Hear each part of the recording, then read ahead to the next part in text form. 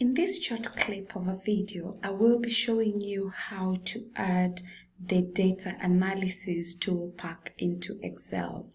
So usually if you have the Toolpak, you'll go to data and once you click on data, you should be able to find the data analysis tool pack here, which allows you to carry out things like different statistical analysis, T, uh, t-test, things like that using Excel.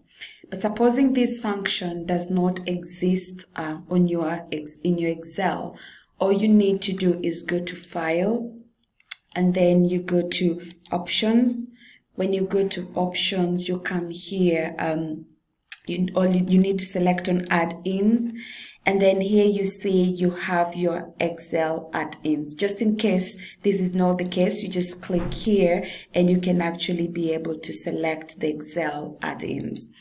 So you'll have all the different add-ins that are available. So in this case, we have like the Toolpak, the VBA, Visual Basic Analysis, something else different. Be not going to do that.